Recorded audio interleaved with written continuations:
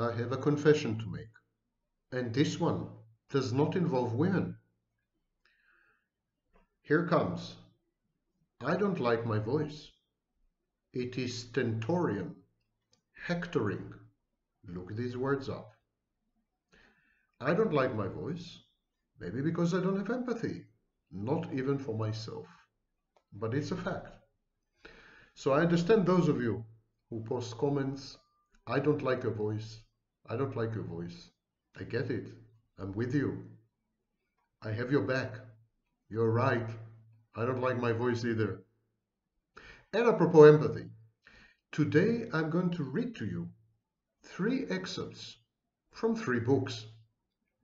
The first excerpt is a very unusual way of looking at empathy in very unusual settings. The second excerpt was written by the inimitable, the one and only one, Martin Luther King Jr. And it's an excerpt about love, where he displays his erudition in all matters Greek, and also his deep acquaintance with the varieties of love. Yes, the guy was a womanizer, for those of you who didn't know, and worse. Now, the third excerpt has to do with the culture of fear. Apropos love, we have grown afraid of everything. It's an anxiety-infused culture. Our civiliza civilization seems to have been constructed on two pillars, fear, fear of each other, fear of institutions, fear of the future, fear of the past, fear of pathogens, fear of food, fear. That's the first pillar upon which a modern civilization or postmodern civilization rests. And of course, there's fear of the other, which is a much older thing, and fear of minorities, and fear of insulting others, political correctness, fear. And fear generates anxiety, because fear is the anticipation of bad things that are going to happen to you. And this creates anxiety. They're twins. Fear and anxiety are identical twins two sides of the same coin. And there's also fear of love, because love can end, and often does end, in pain and hurt. And people are conflict averse, they're pain averse, they're hurt averse, they're life averse. They don't want to love. And so this pillar of civilization is the strand, is what connects these three exits. And I would like to start with the first one. And it deals with empathy in very, very unexpected circumstances. It's borrowed from the book On Killing, the psychological cost of learning to kill, learning to kill in war and society by Lieutenant Colonel Dave Grossman. Grossman says that most soldiers are reluctant to fire their weapons. Even when they confront an enemy, even when their lives are at stake, they're reluctant to kill. That's a fact, by the way. And now to some amazing data. From the book. During World War II, U.S. Army Brigadier General S.L.A. Marshall asked the average soldiers what it was what it was that they did in battle. His singularly unexpected discovery was that of every hundred men along the line of fire during the period of an encounter, an average of only 15 to 20 would take any part with their weapons. It's a gentle way of saying that only 15 to 20 fired their weapons, 80 to 85 did not. This was consistently true, continues the author, whether the action was spread over a day, or two days, or three. Marshall and his team based their findings on individual and mass interviews with thousands of soldiers in more than 400 infantry companies in Europe and in the Pacific, immediately after they had been in close combat with German or Japanese troops. The results were consistently, consistently the same. Only 15 to 20% of the American riflemen in combat, in combat during World War II would fire at the enemy. The question is why? The answer is the simple and demonstrable fact that there is within most men an intense resistance to killing their fellow men.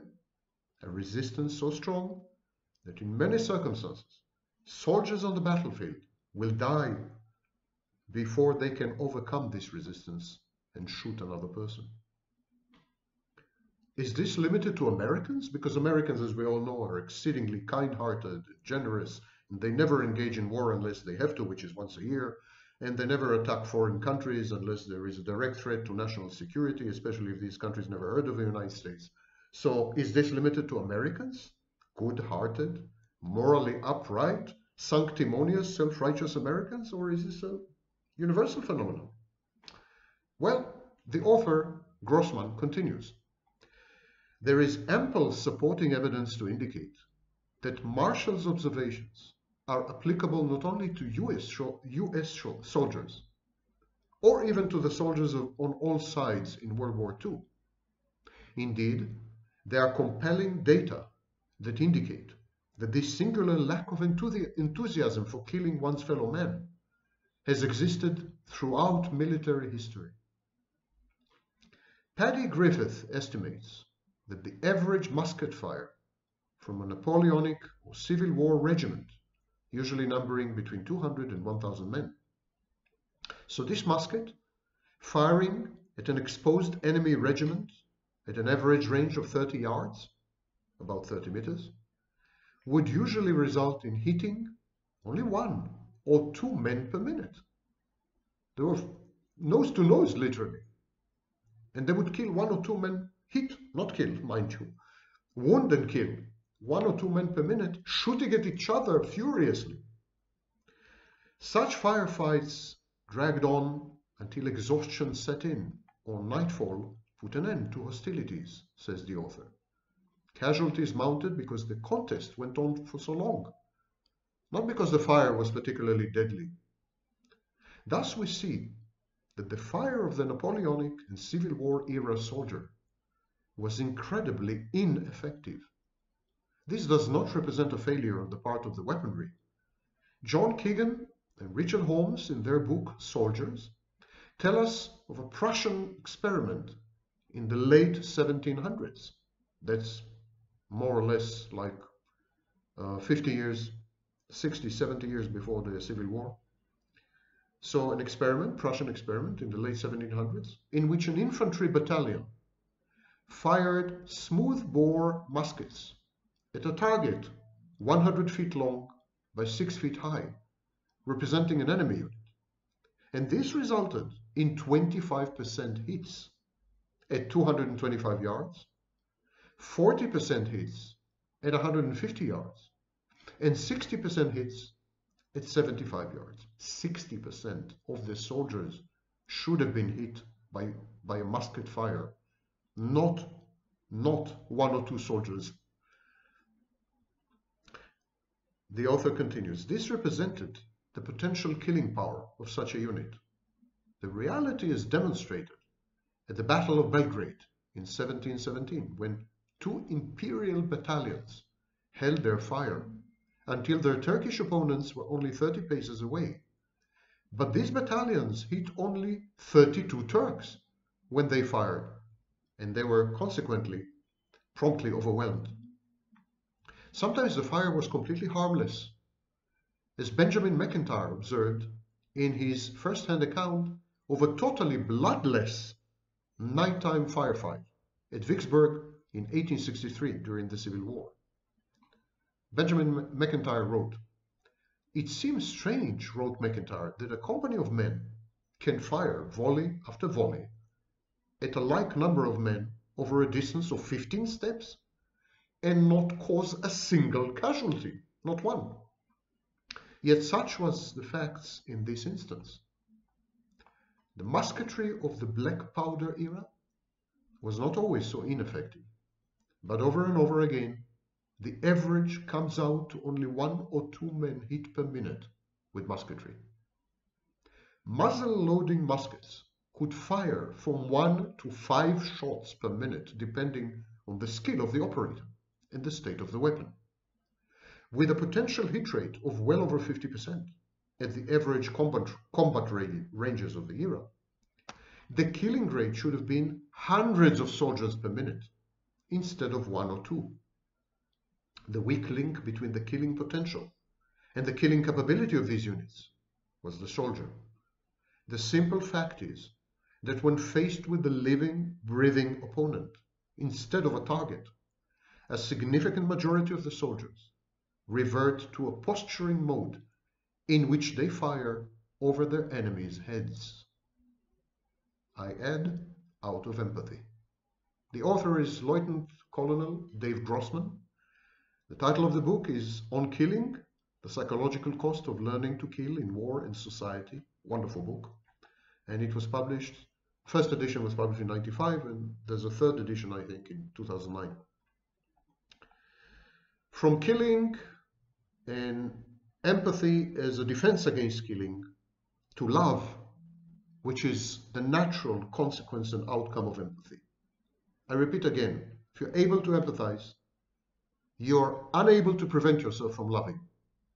Love is the child of empathy.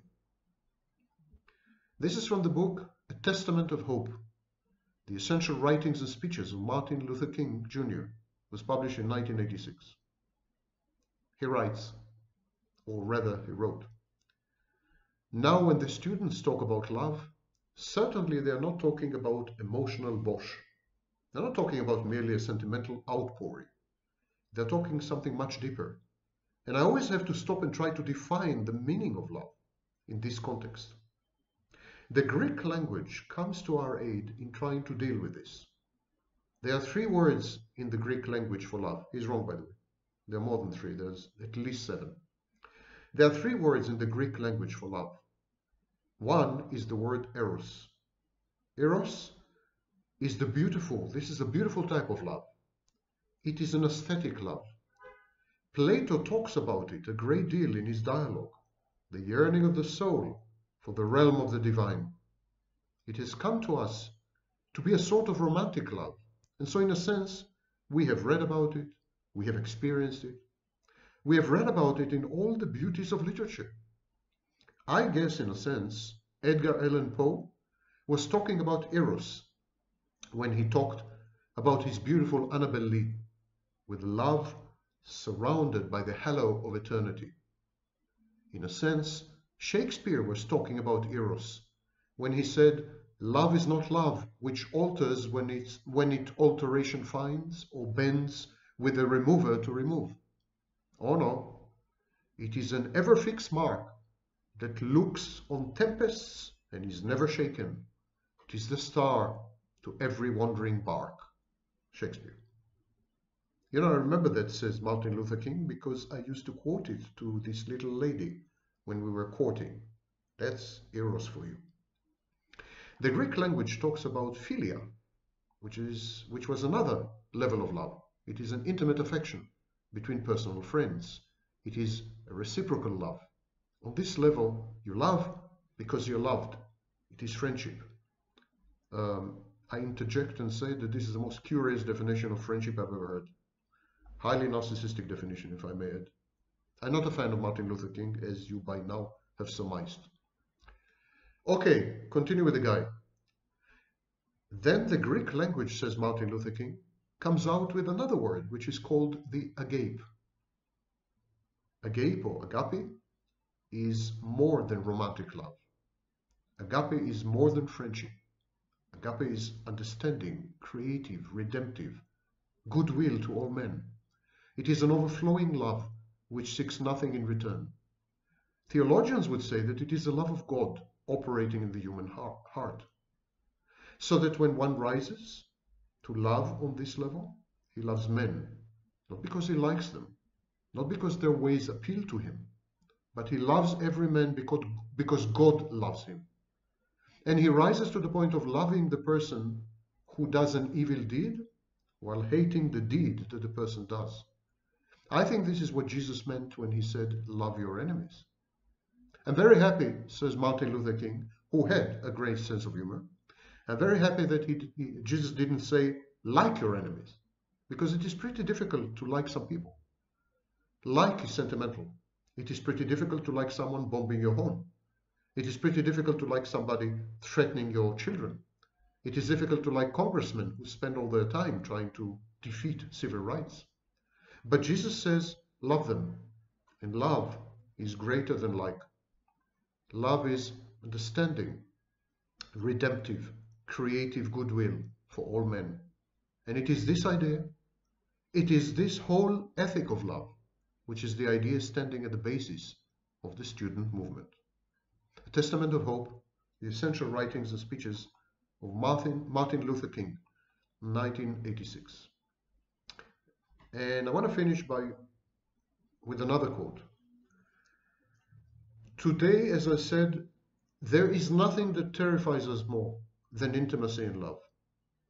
We have grown so atomized, so dissociated, so separated, so defiant and somewhat psychopathic, antisocial and asocial. We, we have become this way because we have learned to associate love with inextinguishable, inextricable, and excruciating pain. And we have come to this association because we are growing in an increasingly narcissistic and psychopathic world where those closest to you carry the dagger, those nearest you carry the cyanide capsule, and they don't intend to use it on themselves. The danger lurks at home. The fear is justified. No one can cause more damage than your loved ones. And no one does. That's the problem, statistically. So we withdraw. We avert. We avoid. We, in other words, fear. From The Culture of Fear by Barry Glassner. Every society faces thousands of risks. How do these societies choose which risks to highlight most prominently? Why are the ones chosen so often those that represent statistically among the smallest threats? And what is the cost to these societies of that culture of fear? This is very relevant in today's world with the pandemic. Very. He asks very crucial questions. I repeat, these are important questions. How do these societies choose which risks to highlight most prominently? Why are the ones chosen, why are the risks chosen so often the risks that represent statistically among the smallest threats? And what is the cost to these societies of this culture of fear? So Barry Glassner writes, to blame the media for our culture of fear that is disproportionate to actual risk is to oversimplify the complex role that journalists play as both proponents and doubters of popular fears. It is also to beg, to beg the same key issue that the Millennium Hypothesis evades. Why particular anxieties take hold when they do? Why do news organizations and their audiences find themselves drawn to one hazard rather than another? Mary Douglas the eminent anthropologist who devoted much of her career to studying how people interpret risk pointed out that every society has an almost infinite, infinite quantity of potential dangers from which to choose. Societies differ both in the types of dangers they select and in the number of dangers they select. Dangers get selected for special emphasis, Douglas showed, either because these dangers offend the basic moral principles of the society, or because these dangers enable criticism of disliked groups and institutions. In Risk and Culture, a book that Mary Douglas wrote with Aaron Wildavsky, the authors give an example from 14th century Europe. Impure water had been a health danger long before that time. But only after it became convenient to accuse Jews of the poisoning of the wells did people become preoccupied with this danger, because the danger allowed them to attack the Jews. Okay, The book continues. Or take a more recent institutional example. In the first half of the 1990s, US cities spent at least $10 billion to purge asbestos from public schools, even though removing asbestos from buildings posed a greater health hazard than leaving it in place. At a time when about one third of the nation's schools were in need of extensive repairs, the money might have been spent to renovate dilapidated buildings. But hazards posed by seeping asbestos are morally repugnant. A product that was supposed to protect children from fires might be giving them cancer. By directing our worries and dollars at asbestos, we express outrage at technology and industry run afoul. From a psychological point of view, extreme fear and outrage are often projections. Within public discourse, fears proliferate through a process of exchange. Conservatives also like to spread fears about liberals, and liberals respond in kind. Among other pet scares, conservatives accuse liberals of creating children without consciousness, uh, consciences by keeping prayer out of school. If you don't pray, you don't have a conscience. And to this, liberals rejoin with warnings that right wing extremists intend to turn youngsters into Christian soldiers. English poet Samuel Taylor Coleridge was right when he claimed in politics, what begins in fear usually ends up in folly. Political activists are more inclined, though, to heed an observation from President Richard Nixon. People react to fear, not love. They don't teach that in Sunday school, but it's true. That principle, which guided the late president's political strategy throughout his career, and may I add Hitler and Stalin as well, this is the sine qua non of contemporary political campaigning. Marketers of products and services, ranging from car alarms to TV news programs, have taken this principle to heart as well. The short answer to why Americans harbor so many misbegotten fears is that immense power and money await those who tap into our moral insecurities and supply us with symbolic substitutes. And this is the this is the was an excerpt from the excellent book published in 1999, The Culture of Fear: Why Americans Are Afraid of the Wrong Things, Crime, Drugs, Minorities, Teen Moms, Killer Kids, Mutant Microbes, Plane Crashes, Road Rage, and so much more. It was written by Barry Glassner. I hope you enjoyed today's selection and all the topics we have dealt with are intimately linked to narcissism. Just a different point of view.